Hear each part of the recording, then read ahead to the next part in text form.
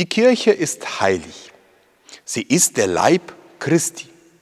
Ihre Glaubenslehre ist unverfälscht. Doch warum sehen wir das nicht, wenn wir eine, in eine Kirche reingehen? Warum sehen wir keine Engel, sondern sündhafte und sündigende Menschen? Für viele Kirchenbesucher ist das eine Versuchung. Sie gehen in eine Gemeinde und werden dort mit Sündern, teils Unfreundlichkeit und Intrigen konfrontiert. Manchmal verhält sich sogar der Priester falsch. Nun, gehen wir dem auf den Grund. Zum Glück sind wir nicht die Ersten, die mit diesem Vorwurf konfrontiert werden. Denn sogar Christus wurde beschuldigt, mit den falschen Leuten zu verkehren. Als er Menschen besuchte, die für ihr unmoralisches Leben bekannt waren, beschuldigten ihn die Pharisäer. Und ihre Schriftgelehrten und die Pharisäer murrten und sagten zu seinen Jüngern, warum esst und trinkt ihr mit den Zöllnern und Sündigern? Darauf erwiderte Christus, nicht die Gesunden brauchen einen Arzt, sondern die, denen es schlecht geht. Ich bin nicht gekommen, Gerechte, sondern Sünder zum Umgeisten zu rufen. Wenn Christus sich also mit Sündern traf, tat er es nicht, weil er ihre Lebensweise akzeptierte oder mitmachte, sondern weil er sie davon abhalten wollte. Das ist ja logisch. Um jemanden, der falsch handelt, vom Guten zu überzeugen, muss man mit ihm reden. Etwas, was in unserer heutigen Gesellschaft oft vergessen wird. Viele versuchen heute ihre Meinung so laut wie möglich herauszuschreien und alle, die einer anderen Meinung sind, werden an den Pranger gestellt. Doch Christus sprach mit Menschen, wodurch er viele zum Guten bekehrte. Das passiert auch heute. Viele Menschen lesen die Bibel oder hören von Christus, lassen sich vom guten Weg überzeugen und gehen in die Kirche. Doch warum werden sie dort nicht heilig? Das werden viele, doch nicht sofort. Denn Veränderungen brauchen Zeit. Wer schon mal im Fitnessstudio war, kennt es. Ja, es gibt dort ein paar Leute mit einem schlanken, durchtrainierten Körper. Aber die meisten sehen nicht nach Athleten aus. Viele sind übergewichtig, wabbelig, schwach.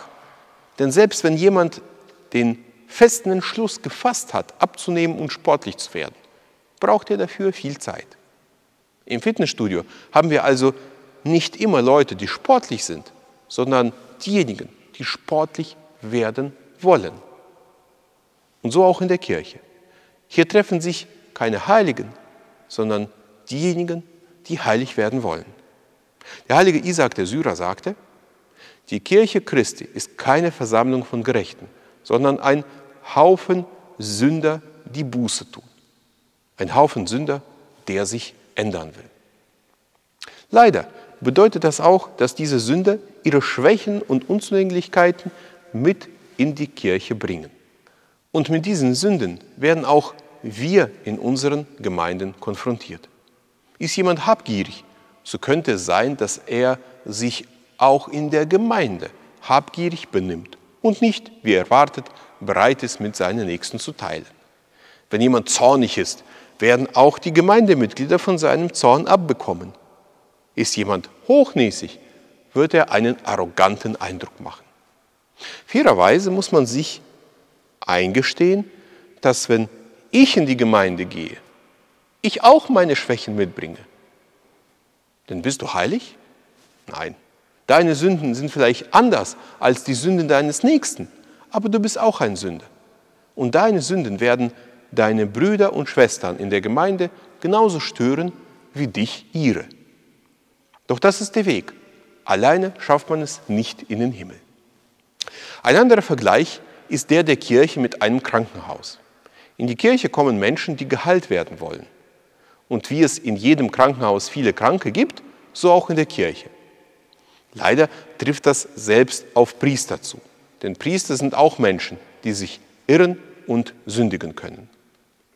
Auf der anderen Seite muss man hier erwähnen, dass Menschen in der Kirche nicht genauso sind wie außerhalb. Denn auch wenn sie nicht heilig sind, bemühen sie sich doch, heilig zu werden. Sie hören jeden Tag das Evangelium, in dem Christus uns zum Besseren animiert. Sie arbeiten tagtäglich an ihren Schwächen. Oft kommt es vor, dass ein Mensch sich in der Gemeinde schlecht benommen hat und andere Gemeindemitglieder zu mir kommen und sich über diesen Menschen beschweren.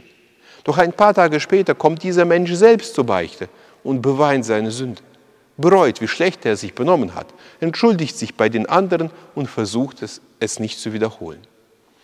Wir sollten das bedenken. Nur weil jemand sich zu uns schlecht benommen hat, heißt das nicht, dass er ein schlechter Christ ist. Er hat sich von seinen Leidenschaften versuchen lassen, ja aber er bereut es früher oder später und wird versuchen, sich zu ändern. Als Christen, die sich gläubig heißen und regelmäßig die Kirche besuchen, sollten wir immer in Erinnerung haben, dass wir die Kirche nach außen repräsentieren. Es sind nicht nur die Bischöfe und Priester, nach denen unsere Kirche bewertet wird. Es sind auch wir, jede einzelne von uns. So wie wir uns in unserem Alltag benehmen, bewerten andere Menschen unsere Kirche und das Christentum.